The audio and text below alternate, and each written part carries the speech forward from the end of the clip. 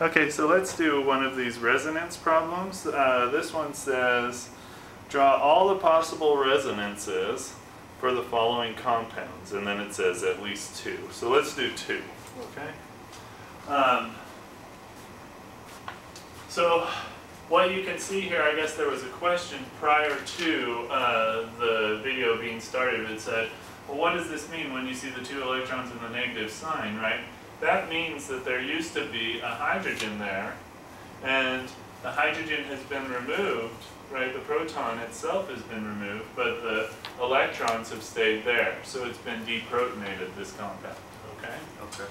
So uh, let's go ahead and draw resonance structures. And remember, when we're drawing resonance structures, we want to draw those double-headed arrows to show the motion of the electrons. Because remember, resonance structures, all the atoms stay in the same place, but the electrons themselves are moving around. That's what designates a resonance structure, okay? And also remember in a resonance structure, lone pairs can move and pi bonds can move, okay? You can't break single bonds, okay? So let's go ahead and do that.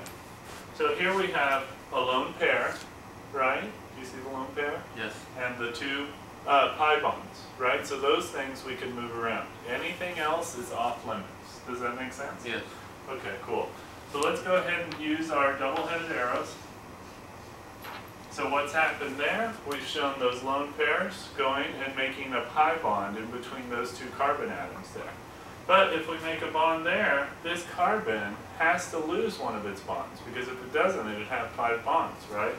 So what we're going to do is move those electrons to right there, okay? So that there is going to look similar to what this carbon looked like prior to the electron motion. Does that make sense? Yes. Okay, wonderful. The other thing we want to do is remind ourselves what resonance arrows look like, right? So they're those double-headed arrows, okay, the two-sided arrows. So, like that, okay? So the resonance arrow. So let's draw what we did here. So draw it on your paper and see if your drawing matches up with my drawing.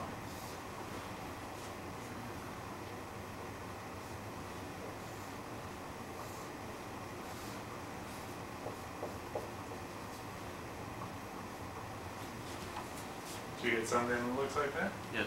Okay, wonderful, then you're doing it right, okay? So it wanted us to draw one more, right? So Yeah. let's go ahead and do it. So what would, what do you think's gonna happen, right? What are we gonna do? We're gonna move that lone pair and move it where? Two, one over. Yeah, in between, right? That's what you mean. And then we're gonna do something with this pi bond? That's going to transfer the electrons to there. Yep, okay, so let's do that. Okay, so let's show the motion of the electrons first. Like that. And then like that. Now let's show our resonance arrow. Let's draw our structure.